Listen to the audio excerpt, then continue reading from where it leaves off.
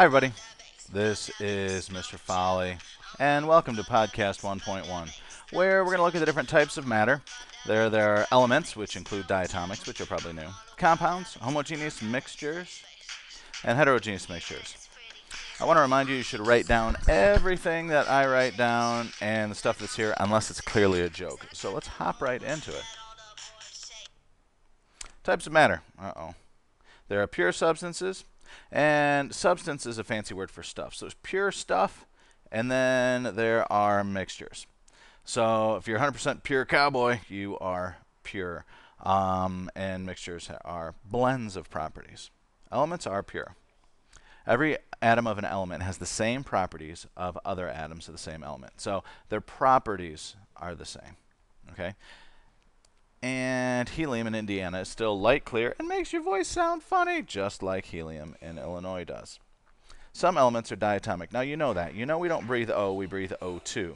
So what diatomic means is that each of these guys, when they're on their own, make a, whoops, make exactly two. Great, and I wrote three. Good, glad I have my counting skills. BR2, I2, and F2. So these are diatomic. You will never see them any other way when they're by themselves. Now you know there's H2O, that's water, and that's okay. It has to be bonded to something. So in this case, it's bonded to hydrogen, so it doesn't need to be O2. Compounds are pure as well. So compounds are pure. Even though they have multiple parts, the combination is pure, like H2O. Okay, so every sample of water will have identical intensive properties to any other. And again, an intensive property is one that doesn't change. So like they won't have the same weight, but they'll have the same, it'll be colorless or something like that. H2O and NaCl. So for example, we know that hydrogen is H2 and oxygen is O2. And water has new properties. Okay, So compounds have identical intensive properties to any other of the same type, of course. So we know if you have a um, if you have a fire and you put water on it, it goes out. If you add oxygen to a fire, it gets bigger. And if you add hydrogen to a fire, it explodes. Boom! Ah! Okay. Water has totally new properties than the other ones. NaCl. Sodium in your hand is toxic. If you eat pure sodium, it will kill you and draw butterflies. I'm not making that up. Chlorine is in mustard gas, so and chlorine, like chlorine in pools, you know, it smells and burns your nose a little bit. Chlorine by itself, if you breathe pure chlorine, which is not what's in pool, but if you breathe pure chlorine, it will actually react with the water in your lungs. So pretend these are lungs. And when the gas gets in there, what happens is it turns your lungs into hydrochloric acid and they dissolve. But salt, mmm, yummy, yummy, yummy, yummy, yummy. Mixtures have a blend of properties. That means every original part is still there. Okay, so a salad, mmm, tastes like carrots to me, mmm, and lettuce, oh, and blue cheese everywhere. Salt water still tastes wet, still tastes salty. Blend of properties for a mixture. Blood also is a blend of the hemoglobin that carries the oxygen and the stuff that makes your blood clot. Why can't I think of what that is? Someone should tell me that. There's your extra credit point for the pod quiz. What's the stuff that makes your blood clot? Shame on me for not being able to remember that. What is that? It's not, and coagulant is not going to work. There's something. Mm, it's what makes you uh, hemophiliac, and I can't think of what they're missing. Homogeneous mixtures. Every sample is the same. The prefix homo means same. So homogeneous mixture. This is also known as a solution. Most any state of matter for a mixture is possible. So I can have a solid in a solid, and that is called an alloy. And that can be homogeneous mixture. I can have a solid in a liquid, like salt water, and that's just usually called a solution. So I can have a liquid in a liquid, and like you can mix different liquids together and they will blend. And that is called miscible. Ooh. And then I can have a gas and a liquid. That's how we carbonate our drinks. And I can have a gas and a gas. Every state of matter is possible except for solid and gas. Ging. oh, I guess I just wrote that down, didn't I? Well, aren't you glad you don't have to write that down twice? And alloy, as I said, is a solid and a oops, whoops, solid and a solid. Heterogeneous mixture. The samples are different. It's usually obvious. um, living things have cells. So if you look at their cells, you see how, oh, this would be heterogeneous because I can see this part and I can see that part and I can see that part. Oh, look, it's a little endoplasmic reticulum here. And, oh, look, it's the cell wall and blah, blah, blah, blah, blah. You can see there's different parts. You can see there's different people, different colors. It would be a heterogeneous mixture.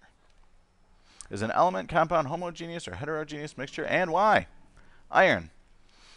Iron is an element which is pure and those are the easiest because they're on the periodic table. Air is a mixture of um, mostly nitrogen and oxygen, a little bit of CO2, but it mixes up so quickly that if you tried really hard you went and try to only breathe in your CO2, you can't because it mixes so quickly. So air is a homogeneous mixture. Rust. Um, rust it has new properties, you know iron rust, so it has new properties, and it is pure. It is a compound. 14 karat gold. 14 karat gold is a mixture of gold, gold is AU, and zinc, zinc is ZN. Zinc is hard and strong, gold is bright and shiny, and together they make an alloy. An alloy is a whoops, homogeneous mixture. Classified by the picture look, this is a pure substance, right? They're all little black dots. This is a pure substance. I guess I'm going to say it's pure. It's an element. These right here, oh look, this is an element, and this is where I get to introduce diatomic element as a molecule. This guy right here is a diatomic element because they're both the same.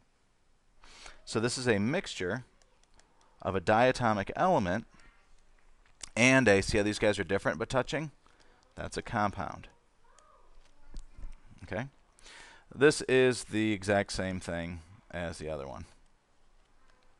This one, this is an element. This is a different element. So it's a mixture of two elements. This is a pure element. This is an element because it's not touching anything. An element not touching anything. An element not touching anything. So this is a mixture of three elements.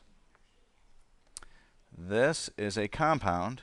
This is a compound. See how they're all the same? So this is a pure compound. Black dot, white dot, black dot, white dot, black dot, white dot. This is a mixture.